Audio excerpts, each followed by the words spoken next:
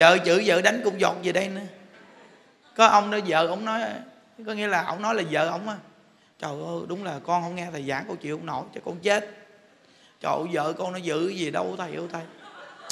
Hồi xưa giờ cô mới thấy con đàn bà nó giữ cái gì lắm nó nhiều lắm tại vì ông sống với vợ ông không nên ông nói gì. Chứ ông cũng giữ với nó giờ đời này nó giữ lại. Ông hay nghe nghe nha, quả hiểu đúng không? Hiểu hiểu mà thật sự chịu không nổi thầy à. Nó dữ quá thầy biết rằng nó đối xử với con gì nè thầy? Nói sao? Nó dót một cây gôi là nó bắt con cúi xuống cho nó đánh. Mà con là chồng mà bây giờ con nghe thầy giảng, con cũng chấp nhận sự đau đớn. Nó đánh con không đau nhưng mà cái tâm đàn ông con đau thì thầy. Nó kêu con phải nằm xuống cho nó đánh. Nó đánh xong nó nói, nó hỏi lại là bây giờ nghe lời chưa? Nó nó nó, nó làm như con là con của nó vậy đó. Nó, rồi con của con phải ngồi xung quanh để coi nó đánh con. Nó bắt con phải gì đó nói là cha mà mà mà mà không có siêng năng không giỏi không biết kiếm tiền thì vợ phải đánh. Rồi các con phải coi đừng có học giống cha mày. Thầy coi đến cái mức gì đó con chịu hết nổi à những đức nói chịu hết nổi cũng phải chịu. Kinh khủng không? Thì thấy ghê chứ vị thấy nhân quả chưa? Mà ông nói ngày xưa con tu ít chưa tu thì nó không có đến nổi gì. Bây giờ con càng nghe thầy nói trả nợ thì nó càng tan tắn tới. Nó làm tớ làm càng luôn vậy đó. Làm dữ dằn luôn thầy. Rồi như đức hỏi bây giờ, ông gặp như đức ông hỏi, bây giờ ông muốn làm sao? Muốn trả đũa là hay sao? À, nói, con cũng định trả đũa lại đó. Nhưng mà con thấy cái nồi con đánh không lỡ nó. Hỏi sao? Là vợ con nó bự con con lắm. Anh lùn xỉn à. Anh nó khoảng cỡ uh, mét rưỡi à. à Như đức hỏi gì vợ ông mét mấy? Là mét bảy. Nó thật. Ông lấy chi mà cao dữ cái chờ? Nó cũng duyên nợ thầy thầy chứ người ta muốn cao còn không được mà con lùn vậy mà con lấy nhậm nhỏ cao quá trời. Chứ người ta cũng muốn cao mà đâu có được đâu thầy. Nó à đúng rồi, cái duyên nợ của ông cũng sắp đặt ngộ ghê, vợ mét bảy chồng mét rưỡi. Bây giờ nó quýnh ông là đúng rồi thôi. Ừ. ông cứ chịu thăng phẳng má hồng đi. Đổi ngược luôn chịu thăng phẳng má hồng đi chứ sao bây giờ? Đúng mấy ông? Bây giờ mình làm đâu có lỡ đâu à, nên từ nơi đó nó là ăn hiếp con từ khi cưới, cưới nhau tới bây giờ. Nó ỷ nó bự con. Mà bây giờ nó quá đáng là nó bắt con cúi xuống luôn. Còn mấy đứa con ngồi xung quanh cừ. Chơi gì mà ác đạn vậy chạy, nói bây giờ những đứa hỏi ông bây giờ ông muốn giảng sanh không? Dạ muốn. Bây giờ ông về ông nằm cúi xuống cho nó đánh mà ông niệm phật. Nó quýnh sao? Nó quýnh đi nè, rồi nó quýnh rồi xong ông làm bộ ông xỉu thử coi. Bộ ông nằm im luôn, đừng có nhúc nhích gì chứ khi nó thương quá, đàn bà nó cũng sợ quý vị. Thấy mình đánh mà còn nhúc nhích á, đánh nữa. Còn mình, nó đánh mình xong nằm im gu luôn, không có nhúc nhích nhúc gì chứ. Giống mấy bà cũng nên luyện gì tán vô mặt cái có nằm im gu luôn, không có nhúc nhích nhúc gì chứ. Le lử à sợ thấy mồ luôn mà vẫn chơi, nghe không? Nó khi thấy còn thì làm làm nư. Nhưng khi mà bắt chợt mà giống như sắp sửa mắc rồi, lúc đó tiếc nuối, sợ dữ lắm. Có khi con người ta vậy đó, quý vị ơi. Nó vì thấy không? Cái nghiệp duyên trong cõi đời, thấy không? Đa dạng. Nên những đức ở trong chùa mà nó thu thập được nhiều việc lạ lắm. Giống như mình, giống như là cái máy thu âm, thu hình. Đủ chuyện đem đến cho mình á nhờ vậy mà kể chuyện với vị nghe nhiều đó. Hiểu không? Nên nó mấy ông đồ mà gặp vợ hỗn chữ vài câu mà nghe câu chuyện này là mấy ông nói gì là con còn nhẹ đúng không thầy? Nhẹ, quá nhẹ luôn. Cái cái thằng này mới bị chơi dữ nè. Cái này là quá đáng, chơi dữ thiệt á. Xưa giờ chưa từng nghe đúng không? Này là dữ nhất rồi đó. Đó, nên từ nơi đó rồi có những người đi chùa tu niệm phật, cầu sanh cực lạc, mạnh phát tâm, quỳ trước phật đời này con giảng sanh giảng sanh. Về nhà cái tự nhiên chồng nói, giờ tôi có bồ nhí. Nó thẳng luôn. Bây giờ bà đi tu, bà đi đi, tôi có bồ. Bây giờ tôi tôi tôi thuê cái nhà cho nó ở. Rồi là tôi thường là đó ở. Rồi lâu lâu tôi về nhà một chút thôi. Bây giờ bà chịu không chịu gì thì tôi cũng vậy đó xong bà đi bơ bơ bơ bơ với gì chùa mình. Đã gặp như đức bà hỏi, bây giờ trường hợp vậy con làm sao thầy? Nhà đức nói, bà ngồi phía trước bà nghe giảng, tôi thấy bà hôn hài dữ lắm mà. Bà giảng xanh dữ lắm mà bà đưa tay đồ, quơ tay ôm sùm hết trơn mà. Hôm nay sao bà đụng chuyện cái kỳ cục vậy? Bà sống với nó mấy năm rồi? Nó là gần hai chục năm. Hai chục năm quá đủ rồi bây giờ đến lúc trao giải cho người khác đi. Được không? Hiểu không? Hai chục năm rồi. Hiểu không? Nó miếng mồi này cũng ngán thấy mồ rồi. Bây giờ đến lúc tại nó thôi. Hiểu không? Mà đối với người ta thì lạ. Thì thôi, trao mồi đi. Muốn giảng sanh mà à, tường nghe phía trước giảng đồ đưa tay đồ. Hỏi ai muốn giảng sanh? Muốn giảng sanh. Giảng sanh làm thế ghê. Vậy mà về chồng vớt một phát vậy cái đơn luôn quý vị ơi. Đi lợ gặp như đức đi đi mà giống như bà bà khùng vậy. Kinh khủng như vậy nó nói cô tỉnh lại đi. Đây là sự khảo đạo đó. Cô muốn giảng sanh không? Dạ muốn. Nó muốn ý xì quy tợ. Bây giờ và cái này là mắc cả chị lắng chạy luôn á. Bây giờ như đức hỏi phân tích cho bà nghe nè. Đã như vậy rồi bà phải có một cái thế của bà. Là thế của bà là cái chỗ nương ai với đạo phật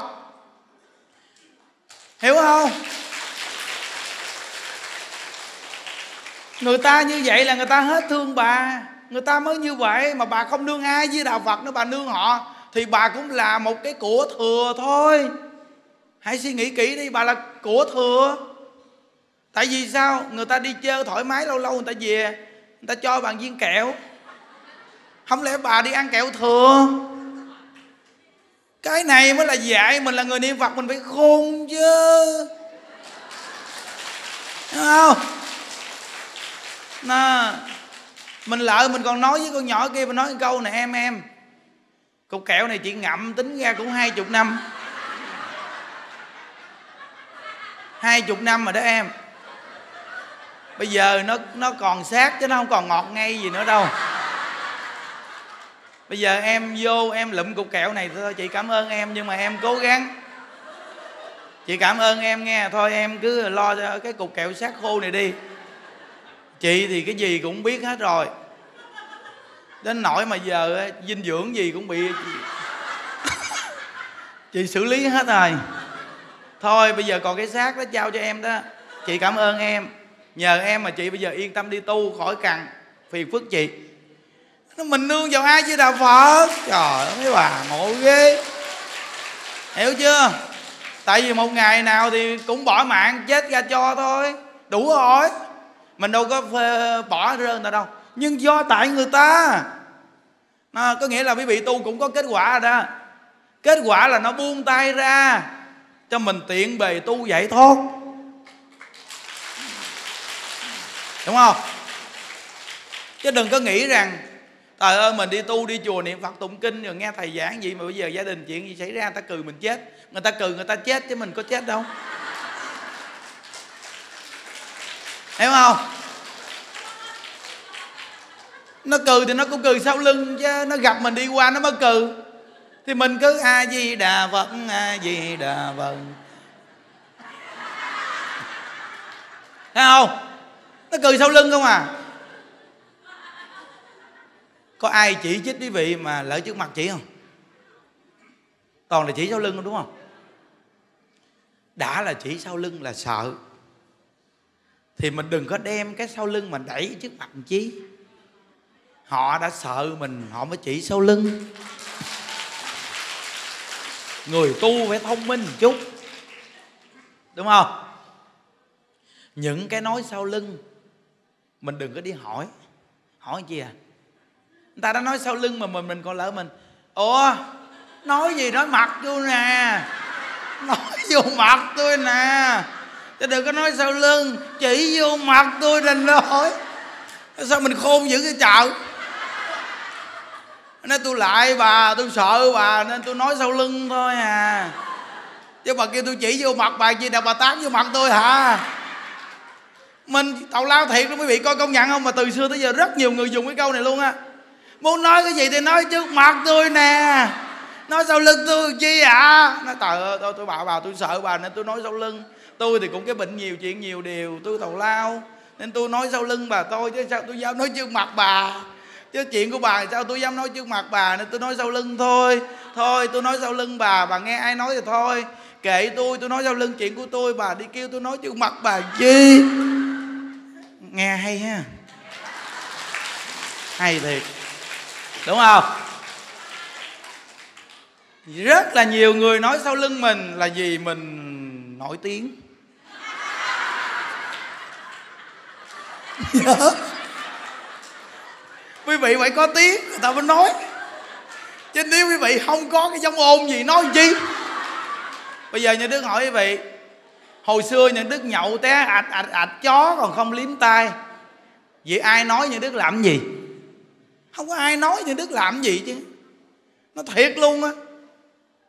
Khi nhậu xỉn đứng giữa đường quận nhất,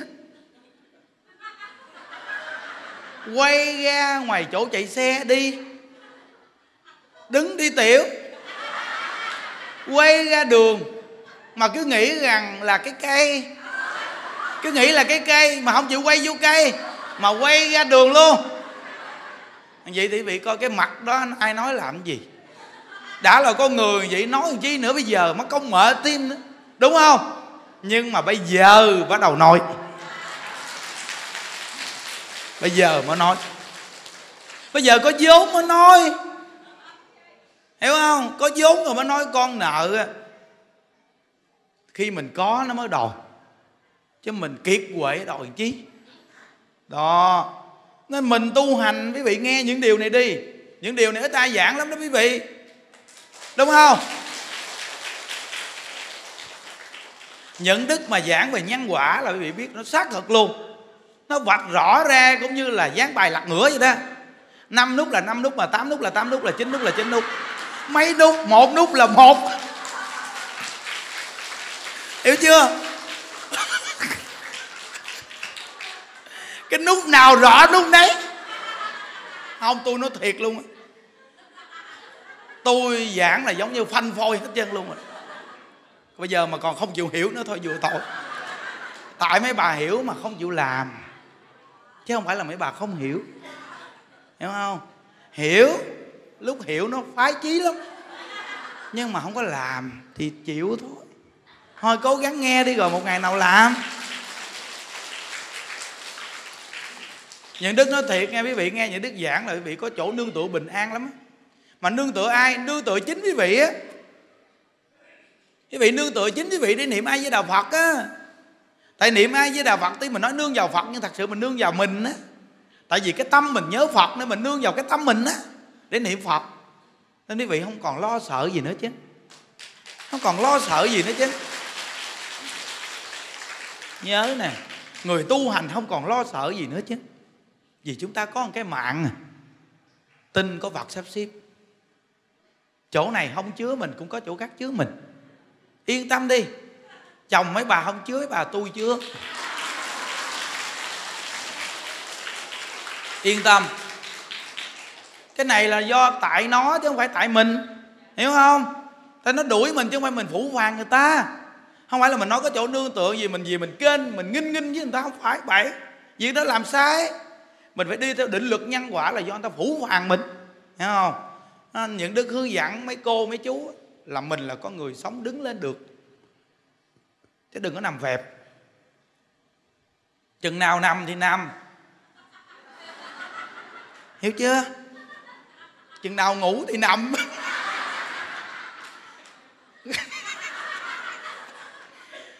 Còn đứng thì phải đứng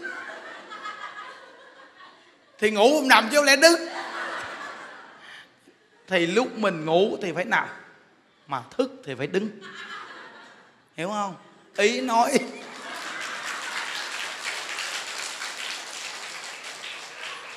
Ý nói như thế nào? Gặp sự cố, thấy không? Gặp sự cố trong cuộc đời, đừng có vẹp luôn. Đừng có để gì một cái chuyện gì để mà vẹp luôn cuộc đời của mình. Đứng lên còn lúc mệt mỏi ngủ thì phải nằm. Đó. Dưỡng sức xong rồi, đứng lên. Tiếp tục mà sống cho tốt. Muốn hiểu ý sao cũng được nha. Cái này là đại giảng mà. Muốn hiểu sao cũng vô được chứ. Thấy không? Cách giảng hiểu sao cũng được chứ. Mà cũng không ai bắt bẻ được là câu này sao? Tùy tâm cái gì, nghĩ sao thì ra làm gì? Đúng không?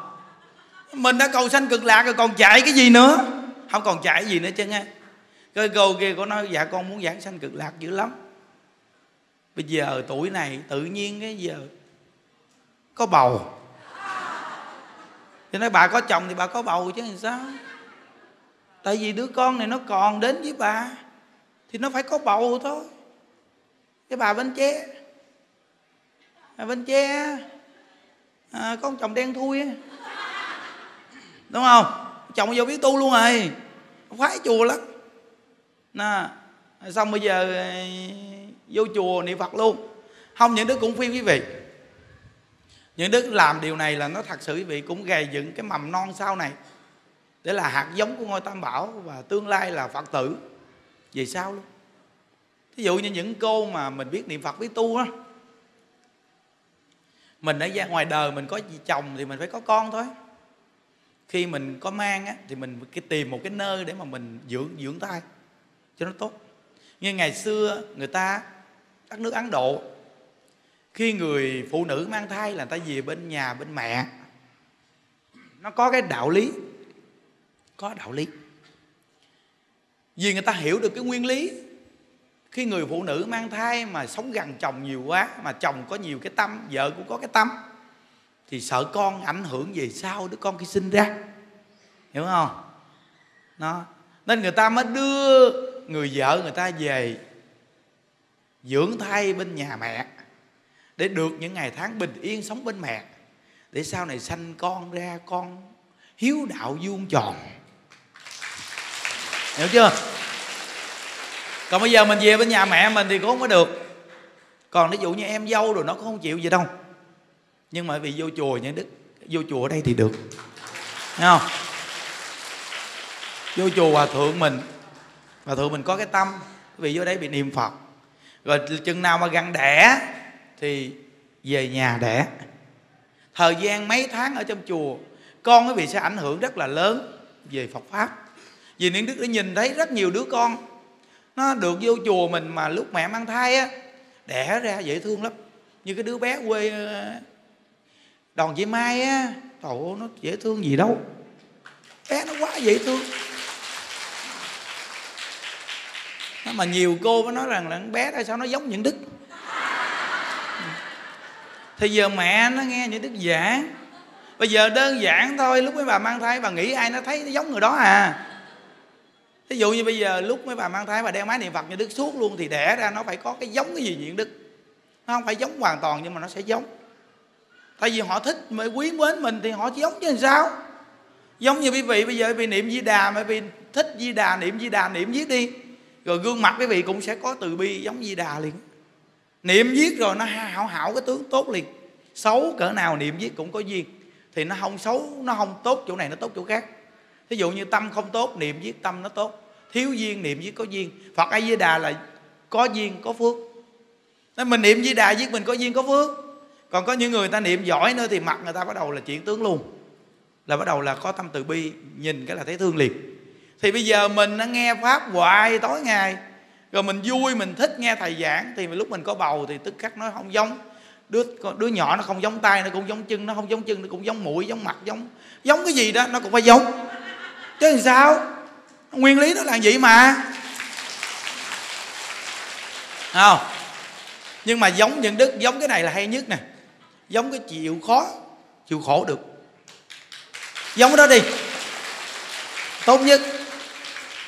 Còn hình tướng nó giống cha nó đi. Đừng giống như đức chi cho nó mệt tiệm, hiểu không? Nên từ nơi đó mà mình mở ra cái tâm này vì mình nghĩ đời mình qua đi đời con mình tiếp tục nó hộ trì tam bảo nữa. Vì nó hộ trì tam bảo chùa nào cũng được. Nó cũng là phật tử. Nó được hộ trì tam bảo. Đứa bé mà từ khi mẹ mang thai mà nó trong chùa đứa bé này không đơn giản. Không đơn giản chút nào. Mỗi ngày ăn gạo trong tam bảo rồi mỗi ngày nghe thầy giảng mỗi ngày nghe niệm phật và mỗi ngày lên tu mỗi ngày làm công quả trong chùa.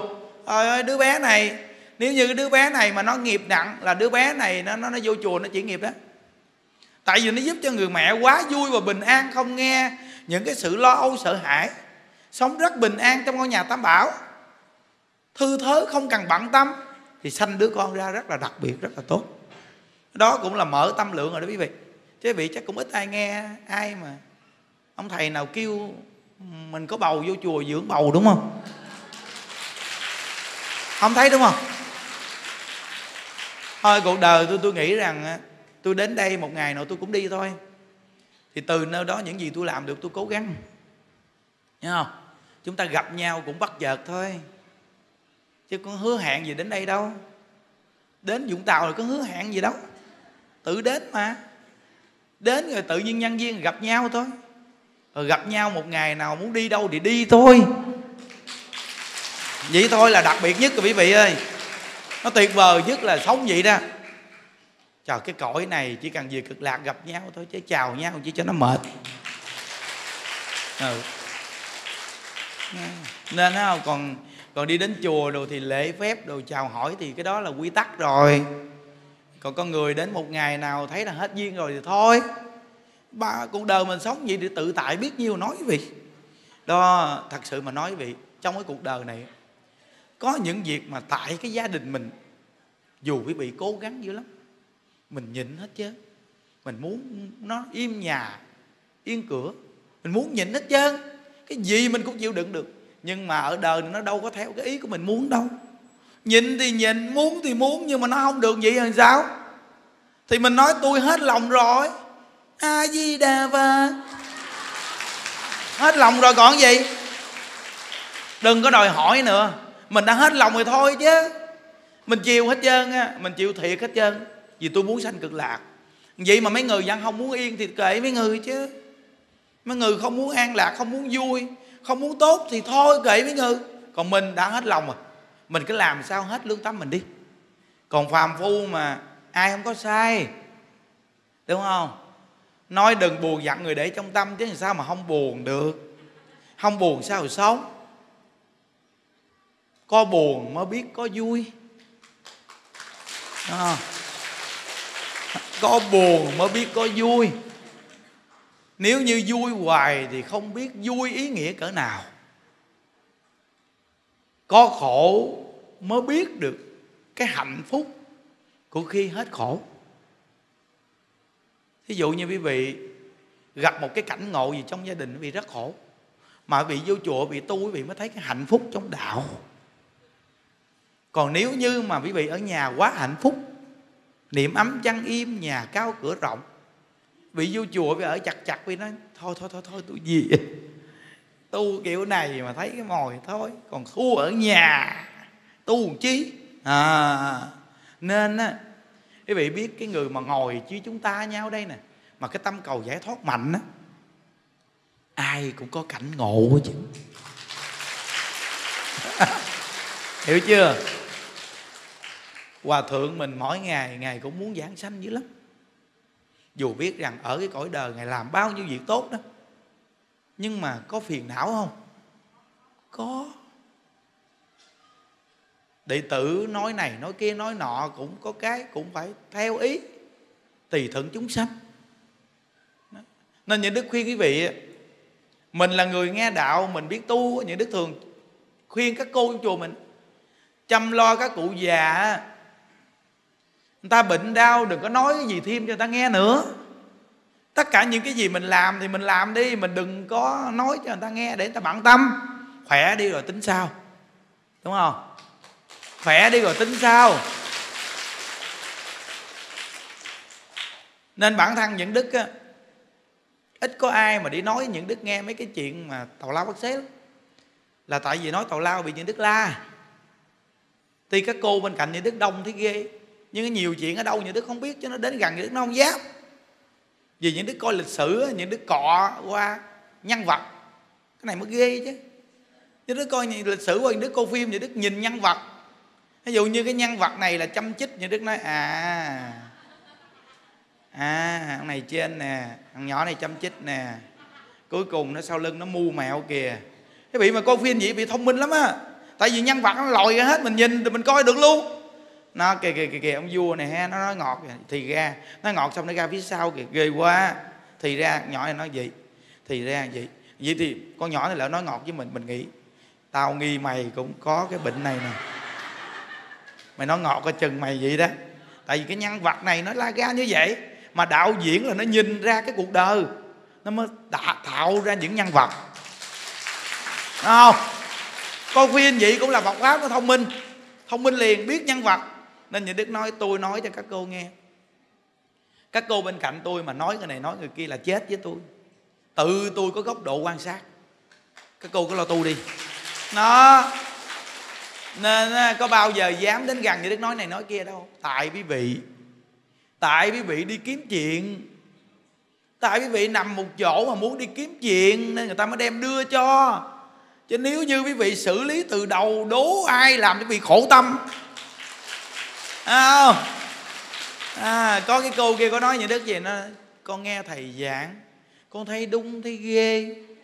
Thầy ơi con khỏe con cũng đi kiếm chuyện. Đi kiếm đầu này đầu kia con moi con móc ra. Con lôi chuyện ra để con kiếm con có có ai nói con không. Khi con bệnh con nằm chỗ thì con cho người đi kiếm chuyện đem về đưa cho con bây giờ con nghe thầy giảng con mới biết cái khổ này là tại con thầy, ô thầy. Đó. Thấy chưa? Không nghe chỗ này mà mở rộng ra nghe. Mỗi cương vị đó, tự xem lại đi. Cái khổ là từ đâu ra? Coi chừng tại do quý vị đó. Do quý vị, cái gì cũng lo âu sợ hãi. Nên sợ người ta dối gạt mình sau lưng, nên đi kêu người đi kiếm chuyện. Còn người ta kiếm chuyện giết rồi, người ta thành bệnh rồi khi mình bệnh đau, người ta cũng đi kiếm chuyện đưa cho mình. Khổ là do tại quý vị. À. cuộc đời con người hoàn toàn về định lực, nhân, quả, thịnh, si, nó đều có sẵn hết trơn.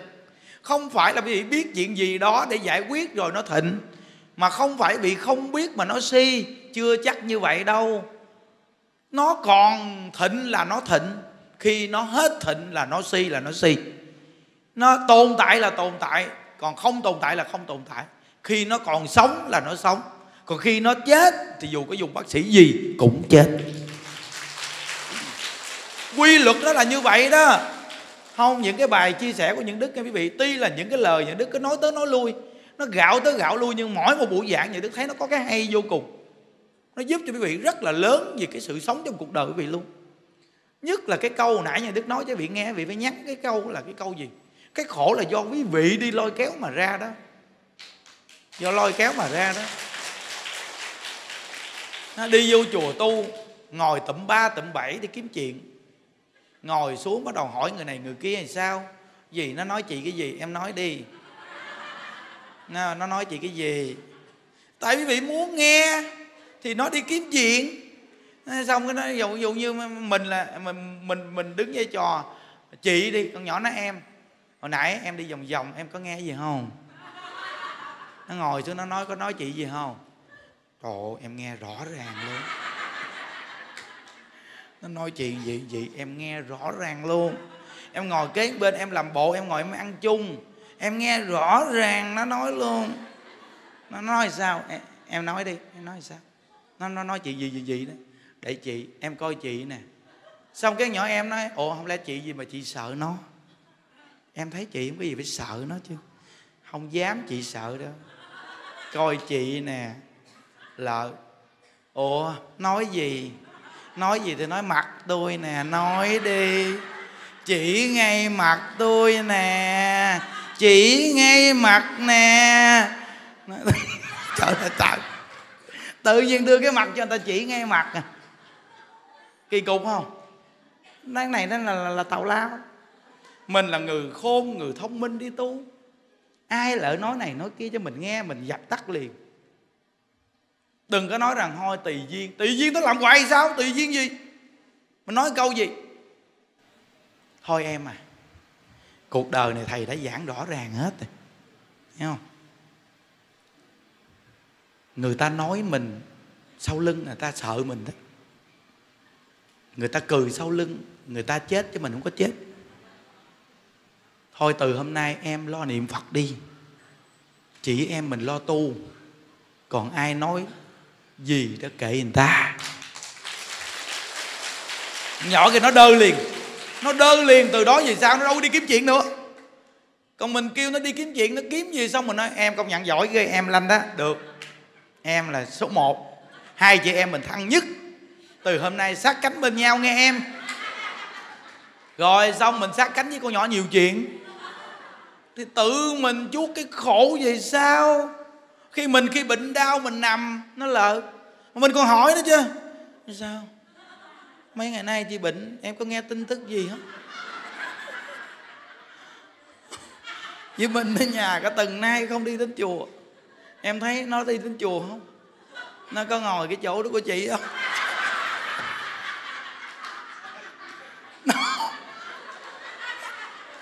Sao nó nói em nói thiệt chị không có chị một cái là nó lộng hành kinh khủng. Nó tùm lum chuyện xảy ra. Nội bộ nó tá lả âm binh. Nó chia cách sang hà đủ chỗ. Thấy không? Rồi nó lên mặt nó lôi kéo mấy bạn kia lợi nó hết chực nó trời ơi để, để, để chị cố gắng uống thuốc hai ba ngày nữa. Chị khỏe vô đi rồi chị tính sổ cho bà biết tờ ô, cái kiểu này là tiêu rồi mấy bà ô. Tiêu một trăm phần trăm luôn. Nó giảng sanh gì mà công mệt tim hiểu chưa? Nó, cái người khôn nhất là đi tu là chỉ cần nghe pháp. Như những đức nói bị coi phim nhìn nhân vật, thì những đức nói nhân vật đâu nói ai đâu. Chứ không ai thì tự sửa. Hiểu không? Nêu lên vậy thôi. Còn chùa thì có người người ta lo chuyện rồi hơi sức vô đây làm chi cho mất công đi, nhìn ngó cho nó mệt. Có cái bà kia bà lỡ gặp như đức nói thầy á, thầy. Thầy đừng có khen chúng hoài. Thầy khen họ chứ sau lưng họ không phải như thầy khen đâu. Những đức hỏi, bộ tôi ngu hơn bà hả? Bà nói, tôi ngu hơn bà hả? Tôi lo cho hai ngàn người mà tôi ngu hơn bà. Tôi không biết chuyện đó hả? Bà kêu tôi mỗi ngày đi phanh phôi cái chuyện của chúng ra làm chi vậy? Cái chuyện này 5 năm trước tôi làm rồi. Cái mỏ nhọn quét rồi. Trời ơi.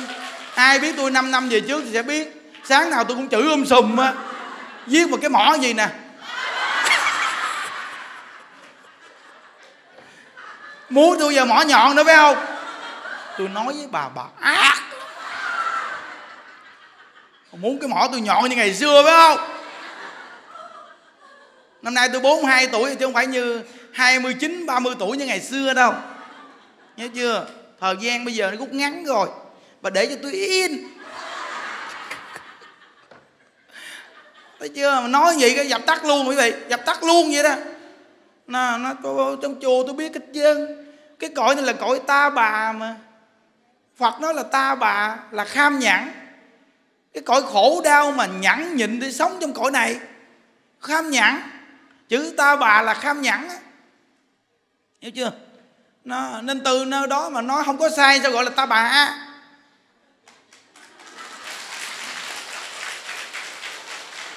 ý nói là khổ trong cõi ta bà mà còn cười ha ha. Nên ta bà ha. Vậy tôi dễ hiểu thế kia hiểu không? Nên từ nơi đó mà tối ngày người ta làm bao nhiêu điều sai mà cừ để đi chở, chuẩn bị đi đỏ lạc. Hiểu không? Nên mình phải biết được cái ý nghĩa của vui như thế nào là đúng, vui như thế nào là sai. Chúng ta vui trong pháp vị để cầu giải thoát là đúng. Ăn nhậu cũng cũng vui mà, đi chơi cũng vui mà, nhưng mà nó vui đi vào đỏ lạc.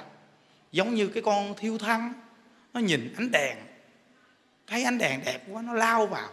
Nhưng cuối cùng lửa đốt nó cháy. Chúng ta phải biết cái niềm vui gì để tồn tại. Niềm vui gì tồn tại mình phải biết. Tu hành là bản thân mình giải thoát này chứ đừng có chi cầu ai giải thoát. Người ta giải thoát không giải thoát cái chuyện của người ta. Bản thân mình là người tu, mình giải thoát mới là chính.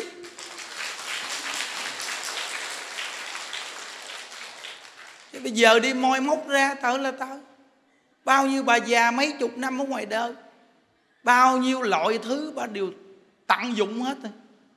Bây giờ đến lúc mà bà già te tua chứ, bao nhiêu cặn bã nó dính đầy trong người, chắc xám bà bỏ ra hết cho gia đình. Bà còn cái chắc xàm. Bà đem vô đây. Đúng đúng không vị chắc xám thì dùng cho con cái gia đình, chắc xàm đem vô đây. Thì từ bi mới vớt xàm còn quý vị coi người ta ngon lành ta lựa toàn là cội không mà ngon ngon không mà ta lụm chứ ơi quý vị coi người ta ngoài đời đi người ta lỡ người ta coi lựa một hay à, hai chục người lỡ. À, bốn đứa con gái đẹp đẹp. À, một hai ba bốn là đây anh. Còn 16 bà già đi chỗ khác chơi. Đúng không? Ta lựa cội không à. Còn cuối cùng bốn đứa nó lụm. Sáu bà 16 bà già đưa tôi tôi lụm. À, chắc xám thì nó lụm chắc xàm đưa cho tôi. Mà vô đây tôi lọc máu, cực cũng chết. Mỗi ngày tôi cứ ngồi để nghiên cứu. Tôi đổ tôi đổ lui, tôi lọc tới lọc lui mà nó vẫn còn xàm.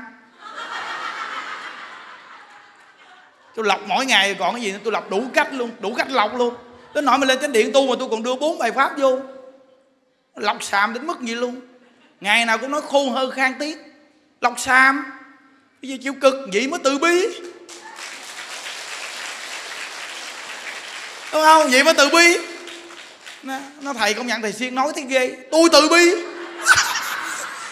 Nói hoài. Đúng không? Nó, mà mấy bà thấy rõ ràng có ông thầy nào mà nói nhiều như đức không? Mà nói bị lệ phái nghe.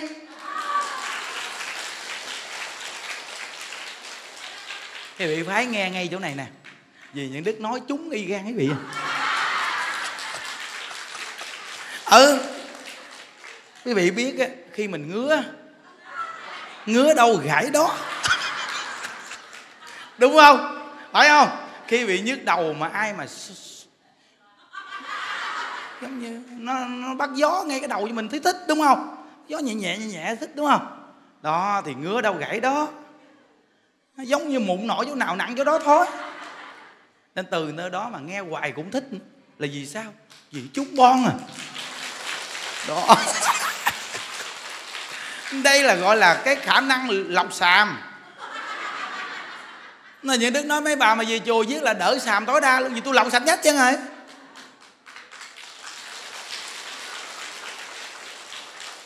Những đức nói với mấy bà biết với tôi mà không có khả năng mà lượt xàm thì tôi xàm luôn. Vì tôi lọc xàm nên dính tôi, lọc lại nên mình giữ. Nên tôi phải có khả năng tiêu hóa. Đúng không? Mà khả năng tiêu hóa tôi là nhờ cái gì? Niệm phật. Trời. niệm phật. Nó tiêu hóa của tôi là nhờ niệm phật. Vì cái chữ phật là giác ngộ. Nên dùng cái chữ giác ngộ để mà lọc sàm và tiêu hóa sàm luôn. Quý vị lọc ra bỏ cho những đức. Nhưng những đức lại là cho nó đi luôn tiêu hóa luôn. Cho nó tan thành hư không luôn chứ không có đưa ai nữa chứ. Chỉ đưa chi là ác quá đưa cho người khác thì ác nữa thôi. Hiểu không? Không đơn giản đâu quý vị. Nên nó đừng có vô đây mà ở trong đây mà mà nói rằng là mấy bà già gì kia nọ tôi không có thích. Mấy bà như vậy mà tôi vẫn nuôi. Quý vị có nuôi đâu? Mới bị nói.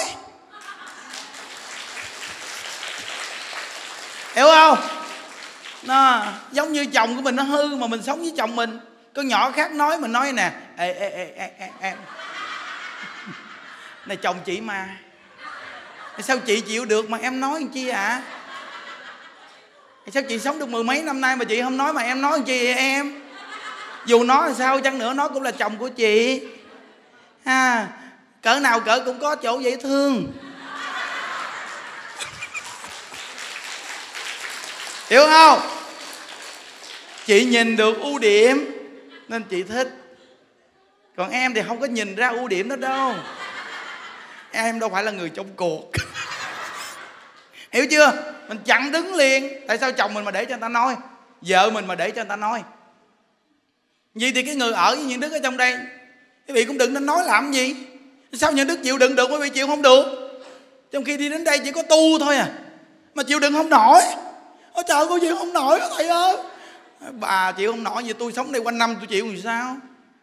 Tôi mười mấy năm nay rồi đó tôi chịu được hoài luôn, mà càng ngày càng mập. Mà đẹp ra nữa chứ. Vô có mấy ngày là chịu không nổi à ngộ ghê. Chịu không nổi cái gì? Bây giờ bà khó quá, thầy ơi, thầy. Khó gì, khó kia, khó nọ. Như đức nói bà khó, nhưng mà bà đã dễ hơn. Quá nhiều bà già ngoài đời. Hiểu chưa? Mấy bà lo niệm phật. Mấy bà đi tu. Mấy bà sao sao? Như đức dọn đồ, bà không dám nói một tiếng nữa còn mấy bà ngoài đời bị đụng đồ bà thử coi biết. Bà chửi cho mà thấy. Có mấy bà đây dọn bà có dám chửi đâu. Giỏi lắm bà có chửi đi chừng nữa bà chửi mấy cái cô dọn. Có dám chửi cho đứt đâu mà hiếm có lắm. Lâu lâu có bà bà, bà, bà sực mấy cô dọn á. Nhưng mà bà dám hó hé đâu khi những đứa ra mặt. Những đứa bước đến cái là bà, bà xin lỗi sám hối à. Không có dám. Vậy là quá tốt rồi. Còn gì nữa? Quá là tốt luôn vì đòi hỏi bà là phật hả? Đã chưa có là phật hiểu không? Nên đạo phật từ bi á, mới gọi là giống như biển cả mênh mông, chăm sông quy về biển. Dòng nước trong chảy vô biển biển vẫn chấp nhận, mà dòng nước đục ngầu, chảy vô biển biển vẫn là chấp nhận. Biển vẫn là biển. Biển vẫn là biển thôi. Đó, bây giờ mình tu rồi. Mình sống với chồng như thế nào mình cũng phải sống với chồng. Từ khi người ta bỏ mình thôi mình sống với chồng là phải sống với chồng từ khi người ta bỏ mình thì thôi. Chứ mình đừng có nói là quá đáng quá đáng gì hết. Hiểu không? À, giống như ngày xưa quá đáng được bây giờ quá đáng sao không được? Bây giờ tu giảng sanh rồi quá đáng sao cũng được. Nó sức chịu đựng càng cao hơn ngày xưa. Người vậy mới hay chứ. À, nên những đức nói mình chịu đựng được mấy chục năm rồi thêm thời gian nữa được không sao đâu. Hiểu không? được hết. À, chiều chuộng hết. Sao cũng được. Có bà kêu nói là thầy kêu con chiều chuộng cuối cùng cái bụng. Nó mọc cái bụng lên kỳ cục đi kia nói, không, cái này không phải là do chiều chuộng, không chiều chuộng mà là do bà còn cái nghiệp đó. Bà phải trả. Ha, chứ không phải là chiều chuộng, không chiều chuộng gì. Tại vai trò bà làm vợ, làm chồng là bà phải như vậy thôi chứ không có nói dòng do tâm quắc gì chứ còn hơn là những người người ta không hiểu đạo kỹ người ta lại cách cái nhà ra làm hai. Ở cuối cùng nó đá tấm vách nó bỏ đạo luôn cái đó còn ác hơn. Hiểu không? Thôi mình tu sao cho bình thường đi cho cái cuộc sống nhân sinh nó nó thoải mái bình thường nhất. Rồi con người đúng người sai người tốt người xấu gì mà mình lọc máu được thì hay quá. Hiểu không? Không có cha trở ngại nghe. À, lại quan âm sắp đến 4 ngày nè à, mình chuẩn bị đồ đạc mình cầm theo. Vì đông quá 4 ngày mỗi ngày một bộ. Kiếm thêm mấy cái bọc. Dơ bộ nào buộc bộ này. Hiểu chưa? Nó còn nếu nhà gần gần thì mình cho xe ôm đem về. Mình bắt bồ với chồng nó bây giờ em chuyến này em đi tu 4 ngày dữ dằn lắm. Cái công đức thì em bảy, anh ba. Bằng đồ một ngày đó xong em cho xe ôm chở về, em lo giặt đi. Chứ giờ em mà giặt phơ ở đây nó tùm lum tùm la nhiều dữ lắm rồi, nó lộn lạo, mất công lắm, phiền phức lắm. Thôi, em cho xe ôm chở về, anh cứ giặt hết, đồ lớn đồ nhỏ giặt hết cho em giặt đi rồi em chia cho ba phần. Trời ơi, trời. Tôi bảy, ông ba. Kết hợp đi để làm. Còn hoặc là mấy bà cầm theo cái giỏ. Rồi đồ đạc mấy bà cầm theo. Một ngày đó bận xong, đi tắm đó, bắt đầu bỏ vô cái bọc buộc, chắc lại siết đồ quấn gọn gọn lại. Xong bỏ vô cái bọc buộc, xích lại cái, để vô cái giỏ một bên. Để vô một bên, để vô một bên 4 ngày, năm bộ. Hiểu không? Chuẩn bị năm bộ. 4 ngày năm bộ. Ủa, bộ thứ năm là bộ nào thầy? Bộ bộ bận về bộ bận đi về chứ mình lại xong rồi mình về hôi đình, chồng nó cười chết. Thấy không? Bốn ngày năm bộ mà đồ lam nó mỏng lắm. Nó xếp gọn hơi à cái vỏ nhỏ nhỏ để vô là gọn hơi rồi. Hiểu không? Nó, rồi mình lại quan âm mà mình đâu có cần nó quá đáng nữa. Lựa đồ nào mỏng mỏng đem theo á chứ mấy cái giày giày đừng có cầm theo làm chi? Hiểu chưa? Đi lên đây lại phật chứ đâu phải đi đi, đi, đi thi hoa hậu đâu. Mà cho ta nhìn. Hiểu chưa? Mà toàn là lên trên chánh điện không mà thì ở trong đã có đồ ở ngoài còn áo chàng không có sao. Cho nó gọn cho nó mát cho nó thoải mái lại cho nó nó nó gọi là à, cơ thể nó được lưu thông. Hiểu chưa? Đừng có gàn bó gàn buộc nó quá. Đừng có gàn buộc nó quá máu huyết nó không lưu thông lúc đó lại không có hết. 500 danh hiệu. Dài cái này mới ghê. Ghê. À, quá kỹ luôn đúng không quý vị? Nó chứ không thôi mà đi lại đây tắm rồi phơ đồ tùm lum đây quá trời nhiều. Nhiều đây nó lộn lạo tùm lum sao? Rắc rối xảy ra. Hiểu không? Còn uh, tiền bạc điện thoại đồ để nhà hết đi còn đến chùa muốn cúng dường thì bỏ thùng tam bảo liền. Còn may mắn đủ duyên gặp như đức thì đưa còn mấy thôi đúng không? Đó. Còn muốn đặt máy nghe pháp gì đó thì đặt gỡ cho chỗ bán máy. Rồi xong, tứ đại dây không, bốn ngày lo tu. Khỏe re. Đừng cầm điện thoại theo. Cầm theo chi cho nó mệt. Khỏi cầm điện thoại, bốn ngày này là pháp hội bốn ngày tu xứng đáng luôn chứ Đức nói bốn ngày pháp hội này quý vị mà tu nghiêm túc nghe. Hơn 200 năm tu thế giới cực lạc. Chứ sao? Dữ dằn lắm á. Hy hữu khó gặp. Thấy không? Cái lễ xong chuyến này xong rồi tu giảng sanh luôn á. Chứ không phải giỡn giỡn đâu. Quý vị cố gắng đi. Chuyến này hoành tráng dữ lắm. Xong có khi tôi giảng sanh luôn á. Giảng sanh đi đâu tôi không biết.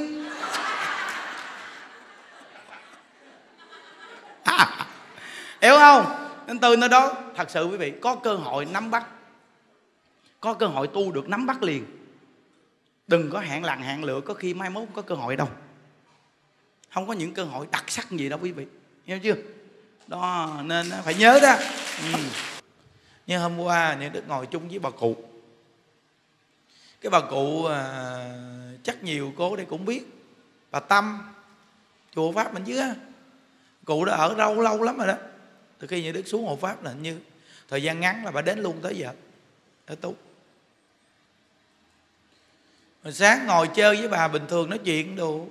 Lần nào ăn cơm buổi sáng xong cũng chạy qua khu yếu chơi một chút. Chọc cho các cụ vui rồi khuyên cụ niệm phật mấy câu, quan trọng. Một chút xíu à. Là nghe nói bà chết queo. Chút xíu à quý vị đang ngồi chơi nói chuyện hôn hạ ăn cơm bình thường luôn.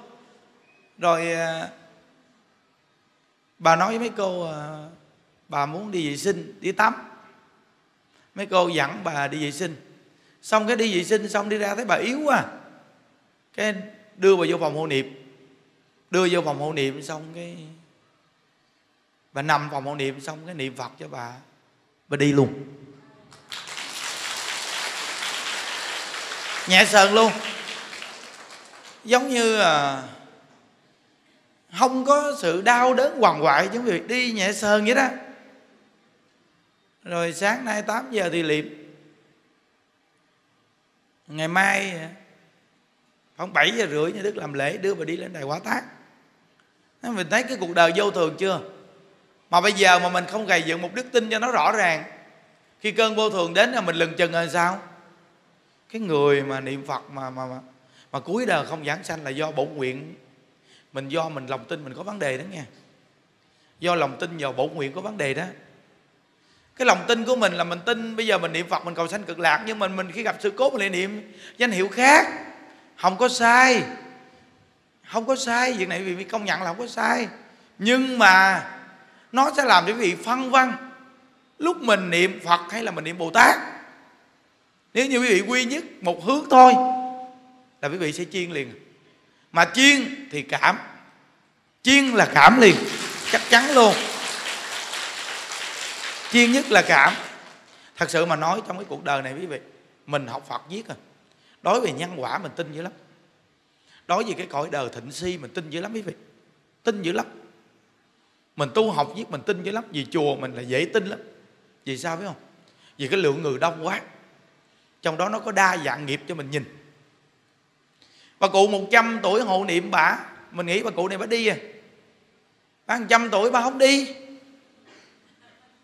Con của bà, nó vô chăm bà. Rồi nó vô chùa mà cái ảnh hưởng của Phật pháp luôn. Không có biết Phật pháp nhưng vô chăm bà cái tự nhiên, mỗi ngày nhà đức nói chuyện cái tự nhiên thích luôn. Cái đi ra mua áo chàng đồ la bạn rồi cái biết niệm phật luôn. Còn có đứa cháu đạo thiên chúa nó vô. Nó nói dạ thưa thầy. Con vô trong đó nhưng con ngồi, con chỉ cầu nguyện thôi chứ con không có niệm phật. Tại vì con, đạo của con con giữ. Không có sao, cô cầu gì cô cầu. Miễn cô đừng có đụng bả thôi. Cô lo cô cầu đó đi. Ở đây người ta niệm phật thì người ta niệm phật. Cứ giữ y nguyên vậy đi, không sao đâu. Rồi xong cái cổ nghe nhà đức nói chuyện á. Rồi xuống lớp đậu làm con. Nghe nói chuyện rồi xong cái bữa sau lại cô nói dạ thưa thầy, cho con mượn bộ đồ lam.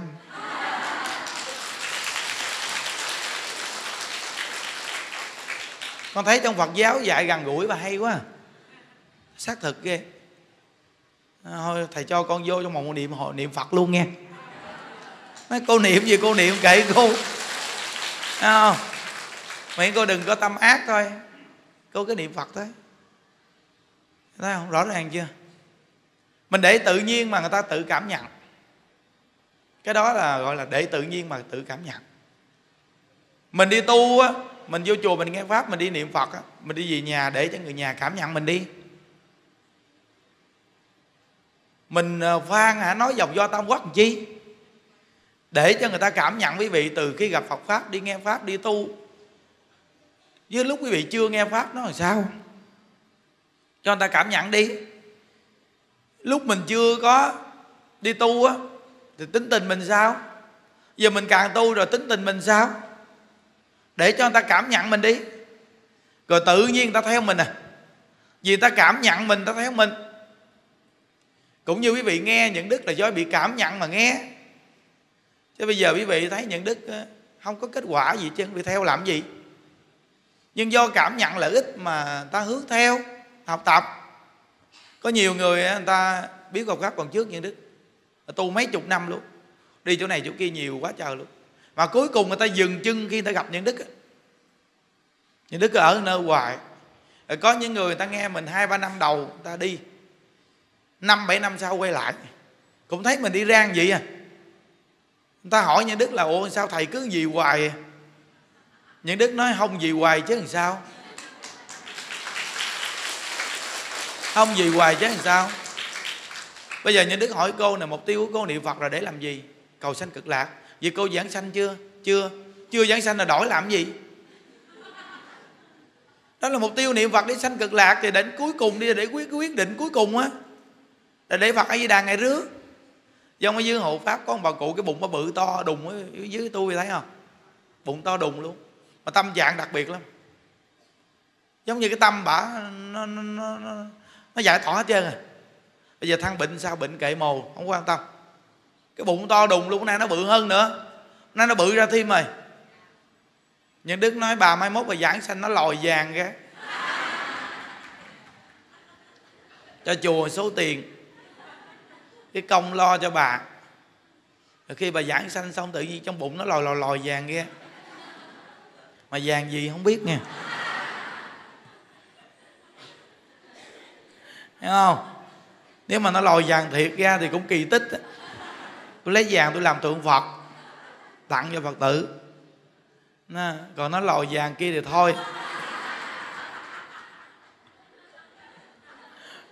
Thấy chưa? Nói bà cười quá trời cười luôn. Nó nói tờ ơi cái bụng bự cừ có khi mệt tí ghê mà thầy nói chuyện chịu không nổi. Cố gắng mà cười nè mà tâm trạng nó thoát hết trơn, quý vị nó không có vướng bận nặng nề chứ nghe những đức nói, bà là dễ giảng sanh. Thì vì sao?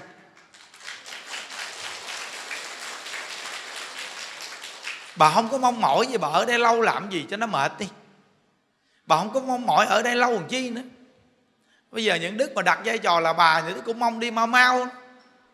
Cái tâm mình cầu phật mau đến nước mình đi, còn phật chưa đến nước mình vẫn vui bình thường chứ không phải là phật chưa đến nước mình trách phật, sao con khổ quá mà phật chưa rước con? Vậy, đừng có trách phật. Cái nghiệp chướng mình còn trả thì mình trả thôi, nhưng mà mình luôn luôn cầu phật, rước con đi phật ơi. Cứ mong vậy đó. Cứ mong vậy, thí dụ như những đức bận một cái việc gì đi. Quý vị kêu những đức một tiếng thôi. Rồi xong những đức nói chắc nó chưa cần đâu, thôi để từ từ. Nhưng mà vị cứ ngồi quý vị kêu, như thầy ơi, cứu con cứu con đi, thầy ơi, con khổ quá, thầy ơi. Mình nghe vài tiếng sau nữa, mình thấy thê thảm quá, mình nói chắc người ta cần dữ lắm. Thôi để việc này qua bên đi, lo giải quyết bà này trước đi. Thì cái người niệm phật mà kêu phật cứu thì cũng y rang vậy đó. Tha thiết, càng tha thiết thì càng cảm ứng. Biết rằng chừng nào phật đến thì phật sẽ đến. Nhưng cái tâm tha thiết đó đó, cảm với bổ nguyện càng sâu, phật đến sớm hơn hiểu không? Chắc chắn luôn. Còn nếu như vị kêu mà bằng cái tâm xạo thì phật biết liền, mày kêu cho gác cuốn họng tao cũng không đến. Mày xạo mà. Còn mình kêu bằng cái tâm tha thiết, mình cảm với phật phật đến liền á. Đến sớm hơn thời gian luôn. Đó. giống như à, pháp sư sư quánh kha ông niệm phật còn 10 năm tuổi thọ đó. Phật a di đà đến nói con còn 10 năm tuổi thọ nữa. Con cứ niệm phật đi 10 năm sau ta đến trước ngày khôn ghê thị hiện cho mình đó. Bạch đức thế tôn, con bây giờ căn tính nghiệp chướng nặng nề. Ở 10 năm nữa có chừng con quay đầu tạo tội nữa. Lúc đó có chừng ngày không rước con. Thôi, ngài cho con đi sớm đi. Con xả 10 năm tuổi thọ. Rồi con về với ngài, xong con thừa nguyện trở lại sao? Nên cái người mà niệm phật mà cảm gặp phật là phật cùng họ thị hiện, họ cùng phật thị hiện. Diễn vai diễn thôi. Hiểu không? Khi mình niệm phật mà phật đã đến rồi thì cái trí vị nó sáng, thông pháp à. Thông pháp à. Thì thấy phật rồi. Người niệm phật mà đã thấy phật đến nói chuyện vậy rồi là thọ ký à thì người mình là giống như là hoàn toàn tâm thanh tịnh hết trơn rồi nhưng mà vẫn có cái câu chuyện như vậy, để làm chi? Để người sau này cầu giảng sanh phật đến là đi đi. Chứ đừng có nán lại đây làm những chuyện thế gian làm gì. Khi mình về cực lạc rồi, mình trở lại làm cho nó chắc, nó không còn thối tâm. Nên cái câu chuyện của ngài quánh kha là để nhắc con người chúng ta. Ngày rước con đi, Chứ ở là 10 năm con sợ đi tạo nghiệp tiếp tục. Thấy không? Phật A Di Đà Ngài nói ờ vậy thì được. Ba ngày sau ta đến rước. Ngài mở cửa thắt ra, Ngài nói, Ba ngày sau Phật ấy đã Đà đến rước tôi. Người ta còn không tin. Ông hư như vậy. Câu chuyện này là cho những người hư chúng ta Có cơ hội nè mà ông là người tăng đó nghe trong chùa hư đó.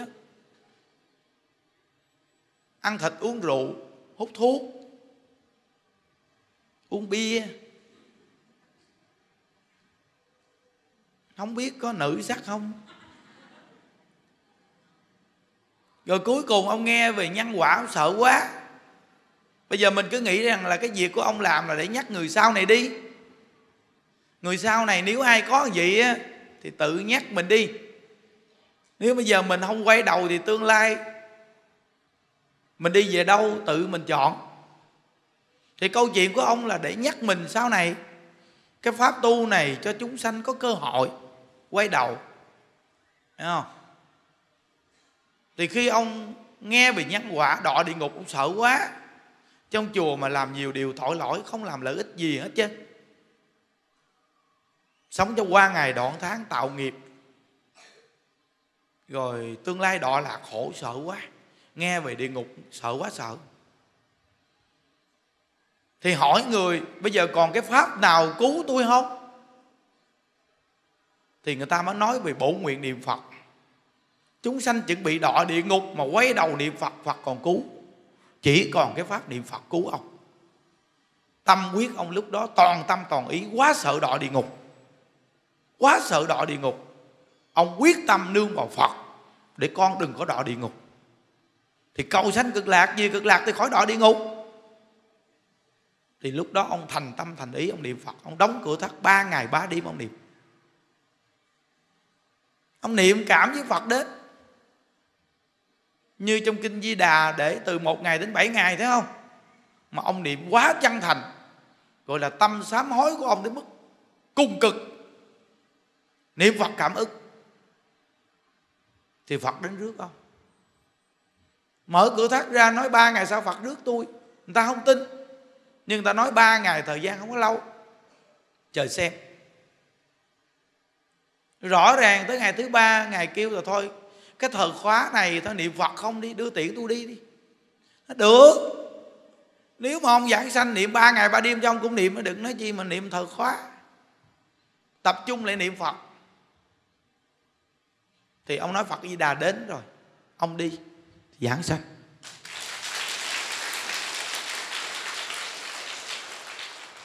Tại sao câu chuyện này đại lão hòa tự mình không ngày kể hoài quý vị? Tại vì ngài từ bi. Ngài từ bi quá. Con người chúng ta bây giờ tạo nghiệp nhiều, làm sai nhiều. Mình nghe gì thì mình nên xem lại mình đi mình xem lại cái tạo nghiệp của mình đi. Mình cũng tu đó mà mình tạo nghiệp á. Có khi còn hút thuốc. Khi uống cà phê, khi uống bia. Lỡ mình sai vậy thì sao? Lỡ mình sai vậy thì mình học giống pháp sư quánh ca. Mình quay đầu. Mình niệm phật. Nhưng mà ngài thiện căn cũng cực kỳ vậy cái tâm quyết mạnh thì ghê rồi thái tử a xà thế thì thể hiện cho những người con bất hiếu. Phá hoại hợp tăng. Tạo tội nghiệp, phá hoại hợp tăng nặng lắm á. Nhưng mà vua a xà thế mà khi nghe đức phật thiết về tịnh độ ông thành tâm thành ý sám hối quay đầu niệm phật. Đại lão hòa tự tịnh không giảng thiết nói rằng ông giảng sanh thượng phẩm chung sanh. Ghê không? Thù thắng ghê không? Pháp tu này là pháp tu thù thắng nhưng mà phải tin cho tớ lòng tin phải cực kỳ cao. Nhớ nè đã tu tịnh độ đã niệm phật cầu sanh cực lạc. Dù cuộc đời mình có gặp sự cố gì, đừng có nói nó yên hoài cho mình. Quý vị có công nhận rằng chúng ta đến cuộc đời này sao yên hoài cho mình? Đã nói là quan gia thù nghiệp mà yên cái gì? Làm sao mà yên hoài cho mình? An tâm hay không thôi, chứ cảnh thì không có an. Tâm an thôi, chứ cảnh thì không có yên nhưng tâm an thôi, chứ cảnh thì nhất định lộn xộn. Hiểu chưa? Nó không gì cũng khác à. Đừng có nói nó yên chứ quý vị, bậy quá. Nếu yên vậy cầu sanh cực lạc làm gì? Tại sao mình cầu sanh cực lạc? Vì thế giới cực lạc nó yên. Cõi này không có yên. Cõi này là quan gia thù nghiệp. Cõi này là nghiệp quả đối đầu những cái nhân mình tạo của nhiều đời nhiều kiếp là gặp nhau trong cõi này nè. Ngồi chung nhau nè. Quý vị coi nè.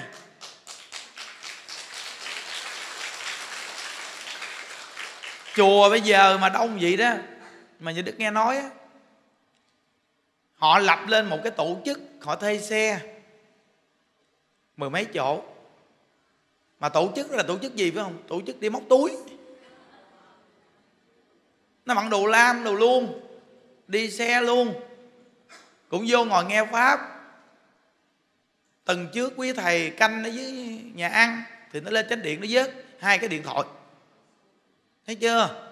Ngồi kế bên á, nghe những đức giảng cừ hả hê, cừ chút rồi méo miệng.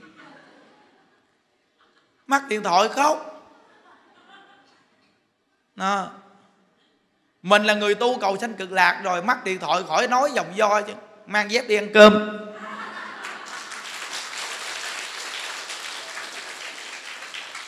Nên cái cõi này dữ liệu mà để trong máy mình ghi ra cuốn sổ tay. Lỡ có mắc điện thoại thì bỏ. Đừng có đem tất cả dữ liệu hay là những cái mã số về tiền bạc, ngân hàng để trong điện thoại hết máy vi tính được cũng vậy nên mình phải để một cái sổ tay riêng. Mình cắt cái chỗ nào riêng biệt. Để lỡ máy tính, điện thoại có chuyện gì thì chúng ta không bị hụt hẳn. Hiểu không? Cái cõi này là cái cõi bất an mà quý vị nói vị tu trong cõi này. Quý vị gầy dựng cái tâm cầu sanh cực lạc, nó mạnh, cực kỳ mạnh, nó mới vượt qua được cái chuyện ở cõi đời này tu giỏi, tu dở gì cũng gặp chứ. Tu càng giỏi thì càng gặp lớn chuyện. Tại vì vì có sức. Có sức thì giác nhiều. Phật từ bi lắm. Người có sức thì phật cho giác nhiều. Người yếu thì phật cho giác yếu. Còn mình chưa có sức gì chân thì khỏi giác đi. Mày cứ lai rai mày sống đi. Khỏi càng đụng tới. Vì tương lai mày cũng đọ rồi có nhiều người nói rằng mấy bà tu không? Chuyện này chị kia tùm lum. Tôi đâu cần tu gì đâu nhà tôi bình yên có chuyện gì hết ra đâu. Nhưng mà nó đẩy quý vị lùi tới cái lúc cuối đời cận tử nghiệp. Nó rút ngắn thời gian quý vị lại luôn. Dụ như quý vị sống 60 tuổi nó rút lại còn 40 chục. Là 40 tuổi quý vị đi xuống luôn. Từ trên nó rớt xuống. Còn người tu á, thì nó rớt xuống từ từ. Rồi nó gịch gịch gịch gịch lại từng đoạn để cho nó bị cơ hội vừa té xuống, giống như nhà sáu tầng. Quý vị không tu thì từ ở trên cao rớt xuống luôn cái một. Hoặc là đây là tầng à, thứ tư. Tới tầng thứ ba bị rớt xuống ba tầng dưới kia, đuôi xuống luôn. Còn vị tu thì nó nó dấp vị một cái, dấp một cái, dấp một cái, dấp một cái. Để cho vị tỉnh, để cho vị cảnh tỉnh vô thường à, mình đừng có nghe cái người không tu họ nói có tu gì đâu tôi bình yên hay chưa à, bình yên. Chỉ mành treo chuông á. Đứt một phát là lọt xuống luôn ba tầng dưới á. Còn cái người tu thì nó khảo đảo từ từ. Nghiệp duyên nó làm từ từ để cho quý vị tiêu đi tiêu cái nghiệp ở ở tam độ ác đạo mà nó trả qua báo thế gian. Nó nó làm bị gãy tay gãy chân. Nó, nên chùa thang máy nè rồi cầu thang nè, bốn tầng nó cao. Có một cái sư cô cũng ờ, lo việc trong chùa quá trời. Hồi tối hồi qua buổi sáng sáng này, thang máy đi đông quá tôi đi thang bộ, đi thang bộ đi chậm chậm tại vì mưa, gió chân ẩm ướt đi, cái nó ướt ướt mà nó cao quá nè, nó chùi. Mà cái ở trên nó cao quá, nó té là nó nhủi luôn à. Tại vì cái điểm cao mà. Mình đi lên nó thì nó chợt thì không sao, mà đi xuống á cô chợt một cái, nãy qua đây khám, nó bể đầu gối. Đưa xuống dưới ờ, bệnh viện ở dưới Vũng Tàu. Cái này là phải cần đó quý vị. Nhớ nè, không đi bệnh viện không uống thuốc, nhưng mà những chuyện cần nè. Để nhờ bác sĩ nè. Là mình bị bể đầu, bể cổ, chảy máu với nhờ người ta cầm máu. Chứ bây giờ mình niệm phật máu nó chạy trơn thì sao. Cái này phải cần nói kệ phàm phu mà đi cầm máu đi còn bây giờ chân cẳng nó bể gãy, banh chành hết trơn thì sao bây giờ. Như bà già 90 tuổi thì nói chi, bà 90 tuổi rồi. Nên bà gãy tay, bà niệm phật lành luôn. Còn bà kia, như méo miệng rồi thì niệm phật lành đó. Ung thư được khỏi đụng luôn. Nhưng mà thí dụ như bể đầu gói đồ này kia cho người ta xử lý theo khoa học. Để ta sắp xương rồi lại cho đàng hoàng. Thấy không? Mình phải biết, mình mình phải lượng phải lượng theo. Để mình mình mình mình làm chứ không phải là mình cứ chết cứng giờ cái đầu bể cái bạch, máu chảy xịt xịt xịt. Kiếm gì cầm máu, để máu chảy xịt xịt xịt. Nam mô với đạo phật, nam mô với đạo phật.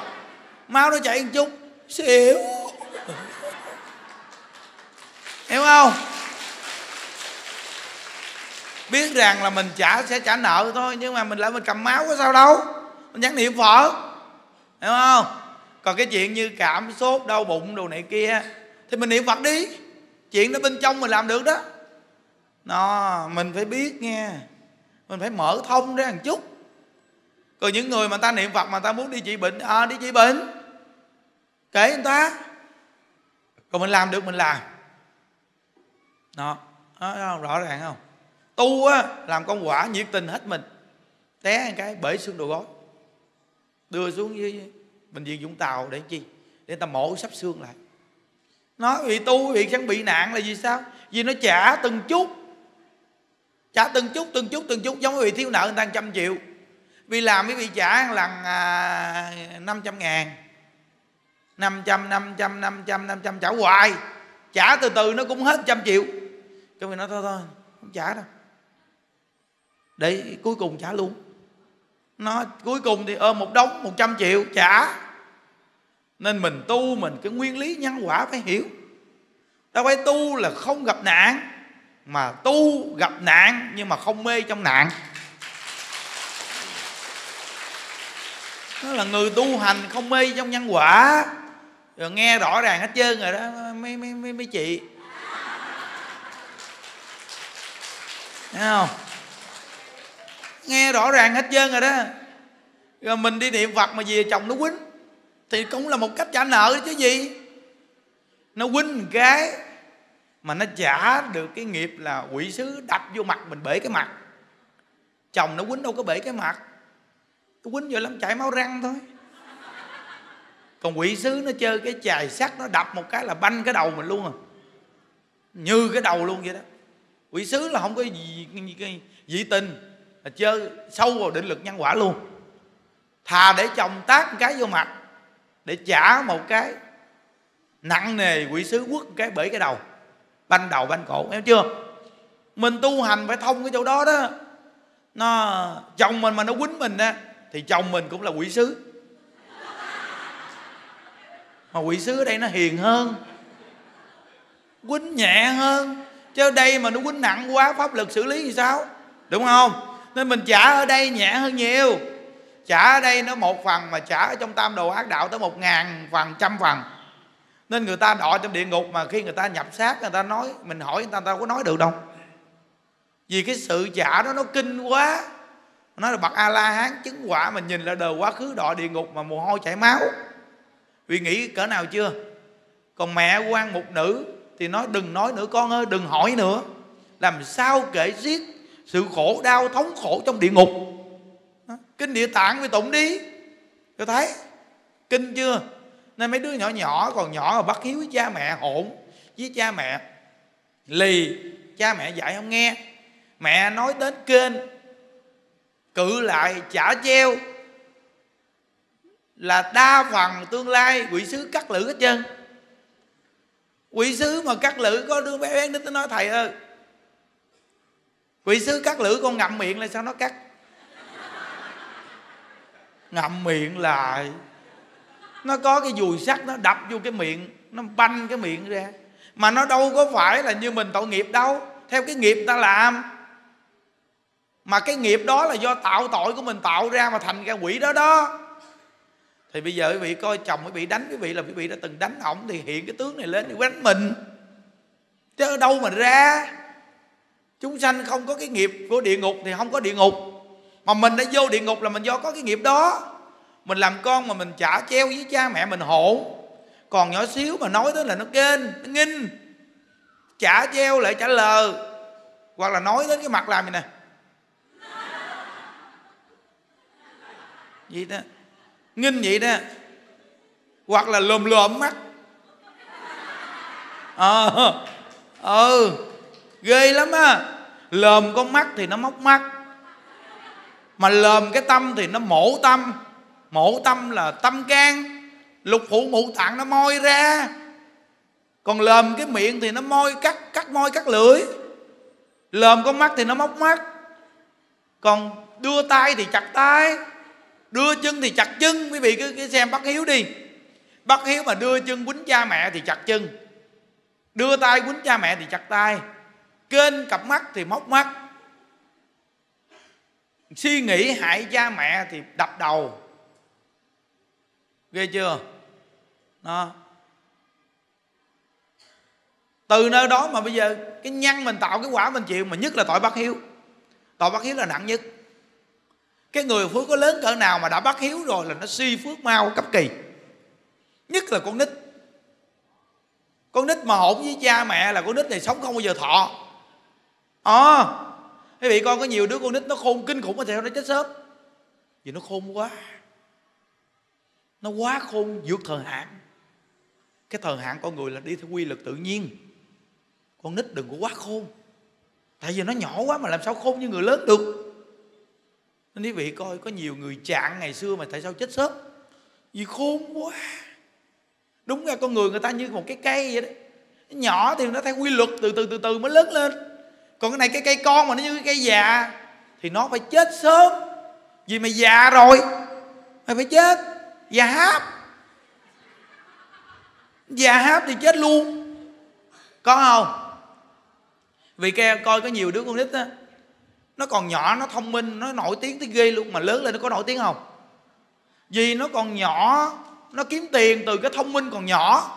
Nếu cha mẹ mà biết rèn á, thì nó còn nhỏ, nó quá thông minh rồi mình nên dằn lại, lấy cái thông minh nó để bố thí cúng dường. Đừng có lấy tiền. Sau này nó lớn lên chừng 20 tuổi là nó thành đạt. Rồi là thành đạt cũng đừng cho lấy tiền nhiều nữa. Đến nó 30 tuổi là cả đời thành đạt luôn. Tuổi thọ mà còn thành đạt nữa. Người vậy mới khôn. Nên ờ, quý thầy mà tu nhiều chục năm á, người ta thông hiểu chỗ này. Nên người đệ tử quá giỏi, người ta phải đè nó quá giỏi luôn phải đè. Hồi đó những đức á, từng nói một câu sao cứ nói tôi hoài sao nói người khác? Sao cứ toàn cứ nói tôi sao không nói người khác đi? Người khác không làm chứ mà không nói họ mà nói tôi chi? Cuối cùng có người nói rằng thì mày làm tao mới nói. Chứ tụi nó có làm gì đâu mà nói nó làm gì?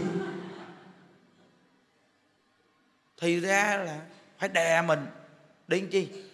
Để coi sức kiên nhẫn mình cao. Phật cũng dùng cách đó để khảo đảo người tu. Nên quý vị muốn sanh cực lạc thì phải chịu sự khảo đảo. Mình không bị khảo đảo sao thành đạo. Cư sĩ, xuất gia, những gì chứ? Mỗi ngày lang thang mà muốn giảng sanh. À. lai rai, từ từ.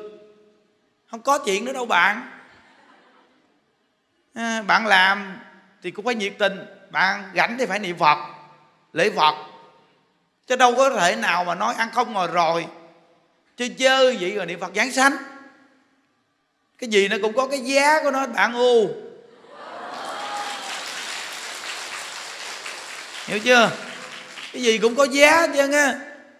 Nên đã biết tu rồi thì đừng có than thở. Chồng có quýnh cỡ nào cũng than nhắc hoài đó mà còn than. Đó. hôm qua gặp cái bà đó, chồng bà đính, quýnh bà. Bà lợ bà mét. Nó chồng mà đánh bà bà lợ bà mét tôi không lẽ? Bà kêu, tôi đánh chồng bà.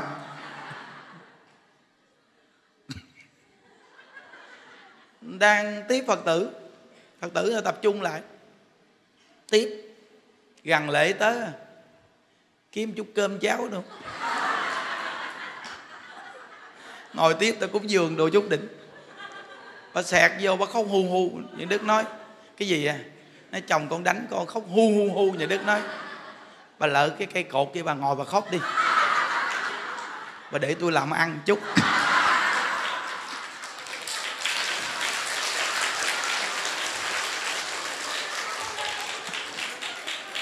Lễ lọc tới và để tôi làm ăn chút để tôi lo cái mùa lễ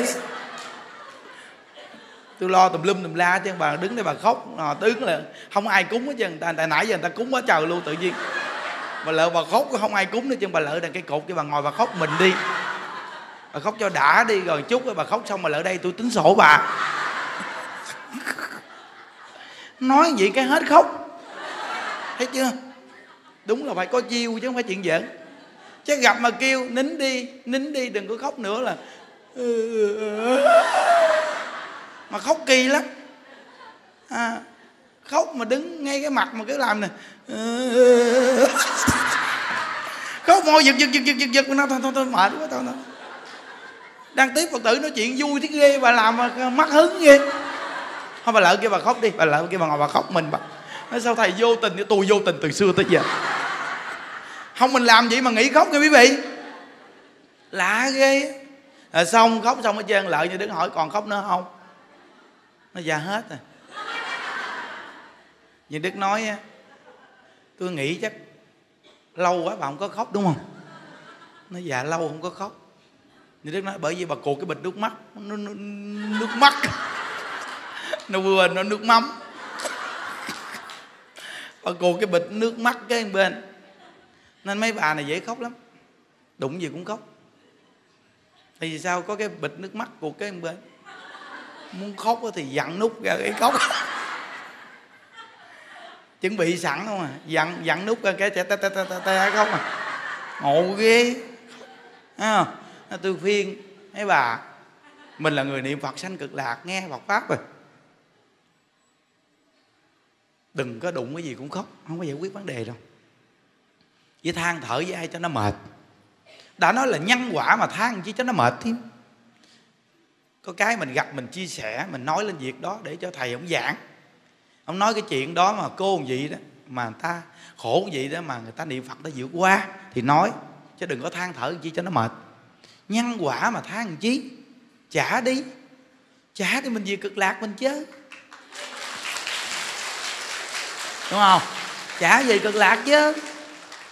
Nó giờ lại rèn luyện đi, giờ muốn giảng sanh thì phải rèn. Phải ghen đời những đức cũng sẽ gặp nạn mà. Thì từ khi đi tu về, những đức cũng gặp hoài. Cái chặng mà 5 năm những đức ờ, dứt một cái là những đức sắp bứt rồi đó. 5 năm á, đi xuống đây là chuẩn bị tiêu rồi đó. Đa phần ai cũng nói, ông hiền tiêu rồi. Hồi xưa mấy vị không biết như đức, nhưng mà nhiều người ta biết như đức, ông hiền tiêu rồi, chết rồi. Sống sao nổi? Sống nổi không? Tôi nghĩ làm sao sống nổi? Trời ơi kinh lắm, không có giỡn đâu. Đó là người trong cuộc mới biết. Ghê lắm. Mà cái đó là nội gọi là mới đó, chưa vậy mới có 5 năm đó nghe. Chưa có tâm kiên định gì hết mà đánh một gậy lớn quá đó. Có ngày hôm nay là vừa vượt qua cái chặng đó đó.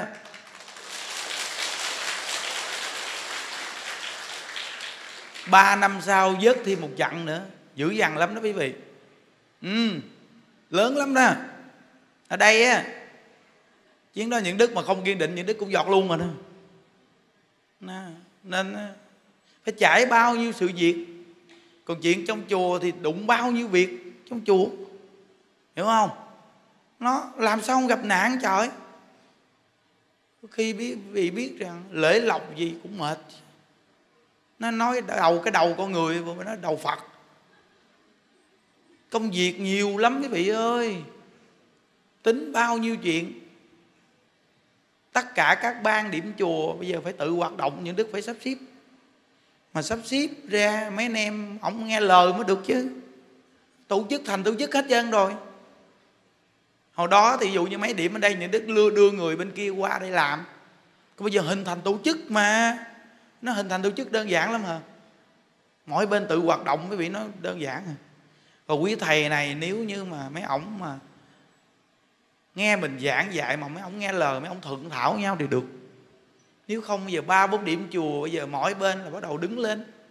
Đều nghe lời những đức nhưng mà anh em nó không thuận rồi sao?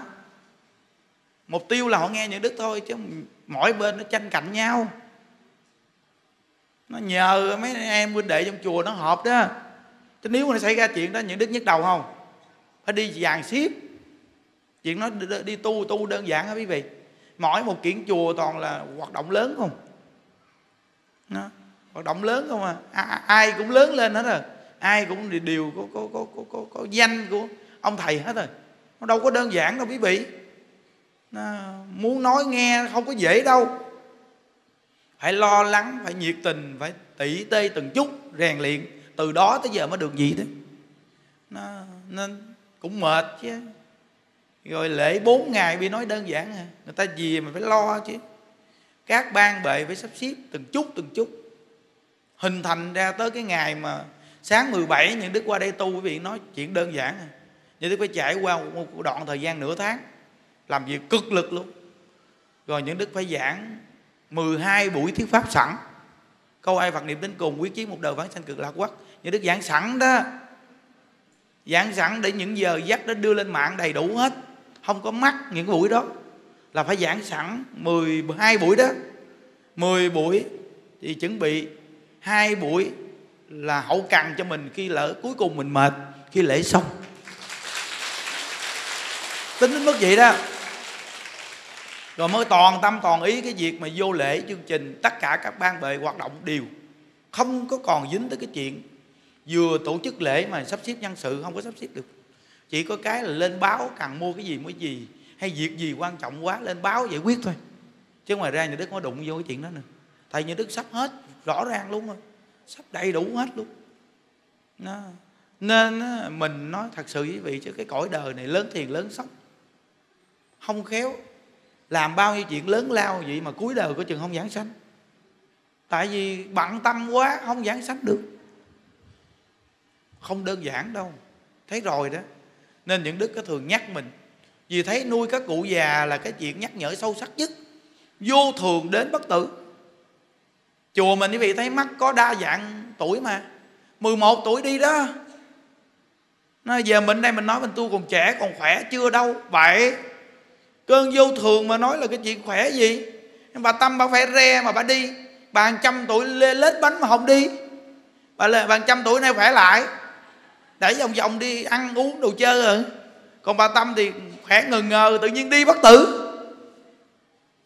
Nên những đức nói là ngày nào cũng niệm phật, làm việc gì cũng niệm phật. Phải niệm phật, phải siêng niệm phật, để lúc nào ngã là ngã về phật liền. Nào ngã là ngã về phật liền. Cái cõi này là cái cõi vô thường, đừng có để lún qua đời của mình những đức nói vợ chồng con cái đó là duyên hợp duyên tan. Khi mà duyên tan rồi, nó đi vào tam đồ ác đạo thì tự chịu. Còn cái chuyện bản thân mình tu hành là cái chuyện này phải lo chuyện giải thoát. Và khi lo cái chuyện giải thoát này thì bản thân mình nó mới giúp được chúng sanh, giúp được duyên với những con người mình đã từng quen. Còn mình không giảng sanh sao mà giúp đây, mà nói gì cái gì ở cõi đời này? Bây giờ những đứa có duyên, những đứa làm nhiệt tình hết mình, cực lực dù mình là phàm tăng chứ phải là thánh tăng. Phàm tăng mình cũng còn sai chứ. Nhưng mà cái việc mà cảm ơn Phật pháp là cao độ. Riêng những đức là những đức cảm ơn Phật pháp dễ lắm á. Mà cảm ơn Phật pháp là mình cảm ơn những người giúp mình đi đến Phật pháp. Nó, những đức từng nói rằng những đức cảm ơn thầy trên kia là cái pháp tu này đó. Cả đời những đức duy trì. Hôm qua có mười mấy cô gặp những đức ở ngoài miền ngoài vô. Dạ thưa thầy ngày xưa con cũng tu giống trên kia. Niệm phật không? Pháp tu đó đặc biệt ghê. Con cảm ơn thầy thầy vẫn duy trì cái pháp tu đó của ngày xưa. Bao nhiêu người gặp như đức ta nói, ta cảm ơn vậy luôn á quý vị. Ta nói sau này, tuy là cũng khuyên niệm phật, nhưng mà có nhiều cái con làm có được, thầy ơi. Họ nói gặp như đức con nói rõ ràng gì họ nói rất là cảm ơn thầy vẫn duy trì cái cách tu của ngày xưa. Đi đến đây thấy còn dễ tu hơn nữa, còn gọn hơn ngày xưa nhiều và còn tu được tốt hơn. Nhất là lễ phật đồ vẫn duy trì y nguyên vậy nó cảm ơn. Đó. Thì bây giờ họ cảm ơn những đức là những đức cảm ơn đó. Cái duyên những đức nó từng học á. Hiểu quý vị? Cuộc đời con người quý vị ơi, mình làm thầy người ta người ta đi học với mình. Mình mừng là người ta đem cái sở học của mình dạy, người ta đi hoàn truyền á. Chứ mình làm thầy mình không có mong mỏi cái gì người ta phụng sự mình gì đâu tại vì mình chỉ mong dạy người ta để người ta đem cái cách của mình, người ta đi làm thôi. Chứ mình cần gì, thiết gì cái chuyện mà người ta lo gì mình bên cạnh mình cái gì. Nên những người mà như đức hướng dẫn, mấy anh em ai làm được như đức mừng giùm người đó. Tại vì mình mong họ như mình được làm việc lợi ích cho chúng sanh. Vậy thôi. Nó, đời con người mà danh lợi cái gì cầm theo đó quý vị. Một hơi thở thở ra con hít vào, bản thân mình còn chưa giữ mạng được đừng nói chi là cái danh cái lợi trong cuộc đời này nó là phù du ảo ảnh lắm. Tu đạo hãy xem xét cho kỹ sâu sắc. Nhìn sâu sắc vào cái cuộc đời vô thường đi. Và lúc đó quý vị tự nhìn thấu à. Nó những đức nói thật cho quý vị biết rằng đó, mục tiêu những đức niệm phật cầu sanh cực lạc mạnh dữ lắm. Nhưng mà ở cái cõi này cái nhân tạo nghiệp nó nhiều quá. Cái nhân tạo nghiệp nó quá nhiều. Quý vị gặp cái nhân tạo nghiệp không nhiều bằng những đức những đức, cái người bao vây xung quanh nó đông quá. Cái nhân tạo nghiệp của những đức nó mạnh dữ lắm. Và cái nhân mà lừa đảo của những đức nó cũng nhiều. Nói câu lừa đảo là cái câu nó hơi cao tay quá.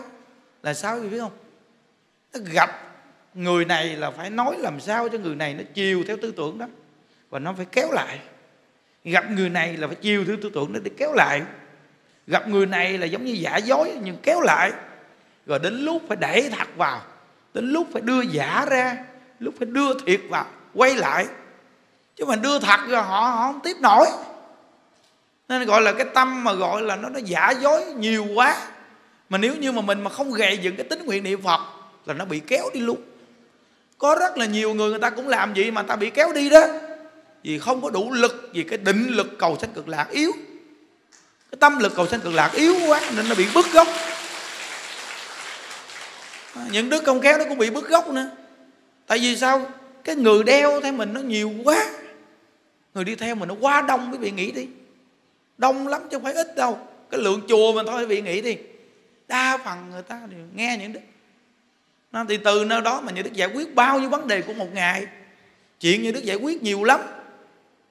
Nó, Nó, rồi có khi còn tiền mà cũng nói với người trong chùa là hết tiền rồi để chi? Để cho tự mà biết nghịch lại một chút. Để không thôi, xài phung phí. Nói vậy thấy không? Rồi có khi nói cách này, nói cách kia, nói cách nọ. Viết bản thân mình mình không biết mình nói cái chỗ nào đúng sai. Nhưng mình chỉ nghĩ có cái điều là mình vì người ta mà mình làm. Cái gốc đó nó phải dĩ, duy duy trì.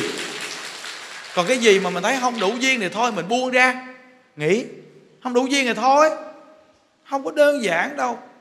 Nên gọi là, nếu như muốn độ sanh trong cái cõi ta bà là phải có chiếc áo giáp của di đà ban cho. Không có chiếc áo giáp đó đối vị mà đi độ sanh ở cõi ta bà này quý vị nổi tiếng lên chút thôi là người ta ào ào, người ta tìm đến là quý vị sắp chết rồi đó. Đừng nói chuyện dẫn chơi, sắp tới chuyện rồi đó. Tiếng tâm mà nó bùng lên là sắp chuyện tới. Thấy không? Với quan âm này tổ chức xong có chừng có chuyện á. Với quan âm này tổ chức xong bắt đầu nổi tiếng cho thấy nè. À, có người những đức nó cũng có linh tính cao độ lắm quý vị. Ừ không giỡn đâu. Tại vì những đức sống mười mấy năm trong đạo gần nhiều người nổi tiếng. Những đức nhìn ra những cái lúc người ta nổi tiếng lên là nó có chuyện đến à. Cái quy luật của cõi này giống như thả diều vậy đó. Nó lên cao thì diều phải tự rớt xuống lại quy luật đó vậy mình phải chấp nhận chứ. Nhưng đòi hỏi cái sự kiên định tu của bạn có duy trì hay không? Quý vị thấy những đức là làm được cái chuyện ở nơi. Không xài điện thoại. Không có qua lệ với phật tử này kia.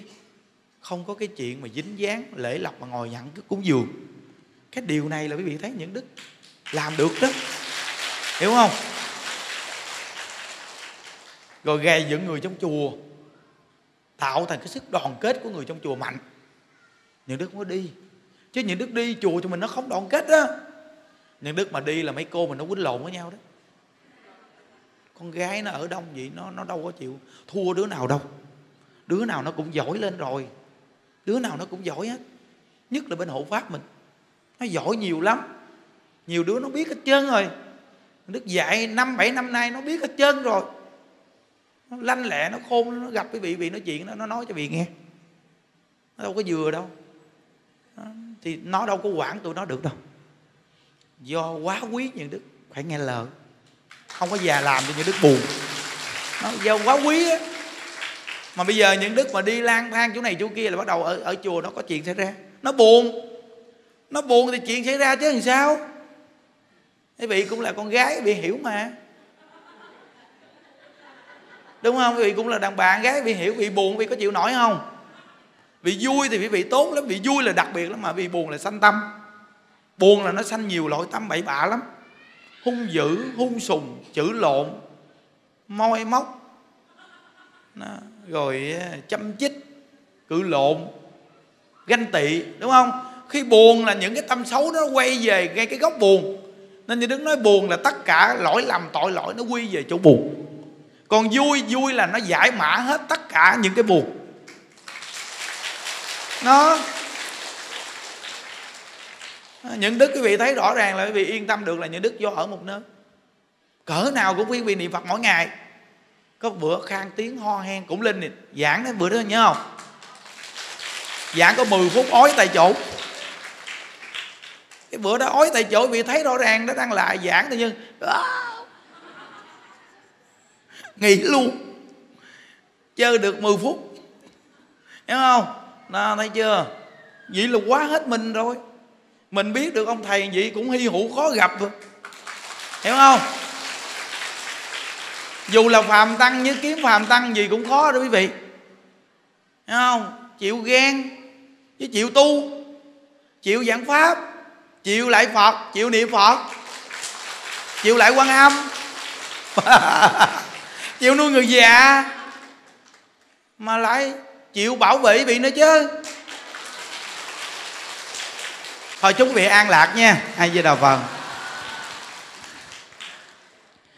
nguyện à, đem à, công đức à, này hướng về khắp tất cả đệ tử và chúng sanh đồng sanh về thịnh độ.